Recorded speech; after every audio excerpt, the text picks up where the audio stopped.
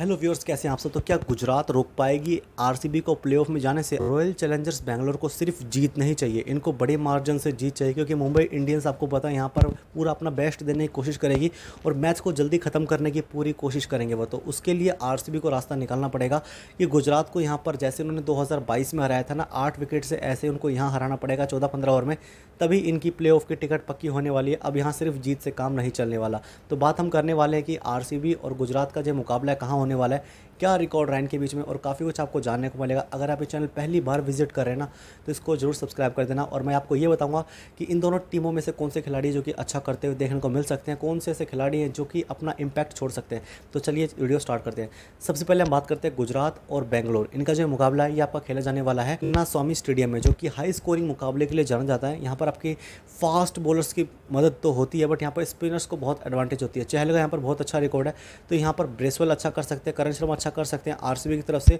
अगर हम बात करें कि इनका हेड टू हेड रिकॉर्ड क्या कहता है तो इनके बीच में यहाँ पर दो मुकाबले हुए हैं, जिसमें से एक गुजरात जीती है और एक आरसीबी जीती है। तो ये जो लोग ये सोच रहे हैं गुजरात की मुकाबला आसानी से जीत जाएगा, ऐसा बिल्कुल भी नहीं है। रॉयल चैलेंजर्स बेंगलोर ने बहुत अच्छा परफॉर्म किया गुजरात के सामने।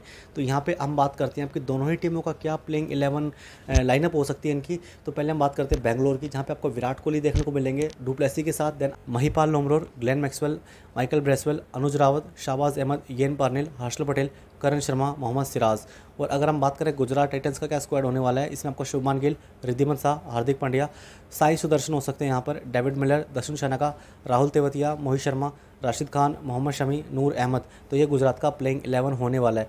तो हार्दिक पांड्या बेशक इन दोनों में अगर आप ये देखेंगे कि as a captain batting Faf du Plessis ने बेटर किया बट आप ओवरऑल परफॉर्मेंस देखोगे ना तो हार्दिक पांड्या बहुत बेटर यहाँ पर फाफ टू प्लेसी से और बहुत कमाल की कप्तानी इन्होंने किया है और काफ़ी स्ट्रॉन्ग डोमिनेशन के साथ अपनी टीम स्टैंड किया यहाँ पर हार्दिक पांड्या ने। तो अब हम बात करते हैं कि मैन टू मैन कंपेयर करेंगे इनकी टीम को। पहले हम टॉप ऑर्डर पर आते हैं कि गुजरात का टॉप ऑर्डर कैसा रहा है। तो यहाँ पर अगर आप देखो, शुभमान गिल ने तेरह मैचों में पाँच सौ छिहत्तर रन बनाए हैं और रिद्धिमन शाह ने तेरह मैचों में दो सौ पचहत्तर रन बनाए तो काफ़ी ज़्यादा स्ट्रगल किया शाह ने, एक अर्धशतक तो काफ़ी अच्छा जड़ा है। बट उसके बाद काफ़ी ज़्यादा स्ट्राइक रेट में इन्होंने स्ट्रगल किया अब हम बात करते हैं आरसीबी की। इस पूरे आईपीएल का सबसे डिस्ट्रक्टिव ओपनिंग पार्टनरशिप यहाँ पर आरसीबी की है। तो फाफडू प्लेसी तेरह मैच में सात सौ दो, विराट कोहली तेरह मैच में पाँच सौ अड़तीस। मोस्ट डिस्ट्रक्टिव ओपनिंग है ये। अगर गुजरात ये मैच जीतना चाहती है तो इनकी ओपनिंग को जल्दी से जल्दी तोड़ना होगा। अब हम बात करते हैं कि यहाँ पर मिडिल ऑर्डर कैसा है इन दोनों ही टीमों का। तो यहाँ पे अगर हम पहले बात करें गुजरात का, कि हार्दिक पंड्या बारह मैचों में दो सौ नब्बे रन इन्होंने बनाए हैं और आपके साई सुदर्शन ने छः मैचों में दो सौ तेईस रन बनाए हैं। डेविड मिलर ने बारह मैचों में ढाई रन बनाए हैं और आपके दसुन शनका ने सिर्फ़ एक ही मैच खेला जहाँ पे उन्होंने सिर्फ़ नौ दस के करीब रन बनाए थे। और आपके राहुल तेवतिया तेरह मैचों में अस्सी रन बनाए जिसमें से कुछ मैच इन्होंने मैच विनिंग नॉक खेली है। और वहीं अब अगर आप आरसीबी का मेडल ऑर्डर देखो तो यहाँ पर आपको काफ़ी सारी कमियाँ नज़र आने वाली हैं। और यहाँ पर अगर आप देखोगे, महिपाल लोमरोर ग्यारह मैचों में एक रन है, लैन मैक्सवेल तेरह मैचों में तीन रन है, और आपके माइकल ब्रेसवेल चार मैचों में बत्तीस रन और छः विकेट इनके नाम। मनोज रावत आठ मैचों में अड़सठ रन है, शाहबाज अहमद दस मैचों में बयालीस रन है। यानी कि इनका जो मिडिल ऑर्डर आप देखोगे ना, ग्लेन मैक्सवेल और लोमरोर निकालो, कोई और थ्री डिजिट स्कोर तक भी नहीं पहुँचा, जो के लिए बड़ी समस्या होने वाली है आरसीबी के लिए। तो यहाँ पे मिडिल ऑर्डर जो है वो आपका गुजरात का वन साइडेडली बहुत आगे नज़र आ रहा है यहाँ पर। तो अब हम आते हैं दोनों टीमों की गेंदबाजी पर। तो गेंदबाजी में कौन सी टीम का पलड़ा भारी है, ये आप कमेंट सेक्शन में भी ज़रूर बताएँ और मैं आपके सामने आंकड़े रखता हूँ मैं।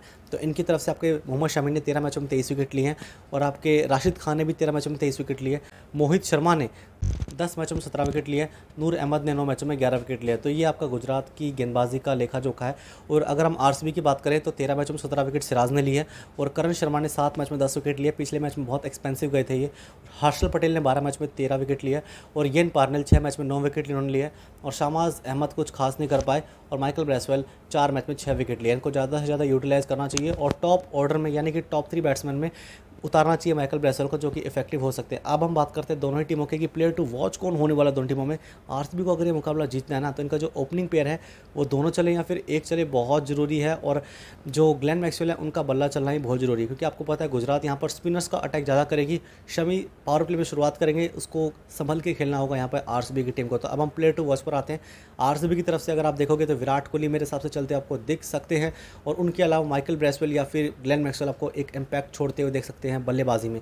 गेंदबाजी में अगर आप आरसीबी का देखेंगे तो इनकी तरफ़ से मोहम्मद सिराज पर निगाह रखनी चाहिए आपको, क्योंकि अगर गुजरात का आपको टॉप ऑर्डर उड़ाना है तो सिराज का चलना बहुत ज़्यादा ज़रूरी है।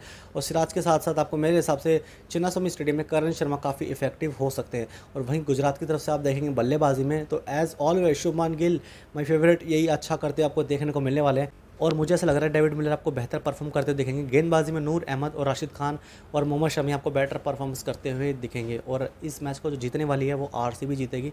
चलिए मिलते हैं नेक्स्ट वीडियो में एक और अमेजिंग कॉन्टेंट के साथ।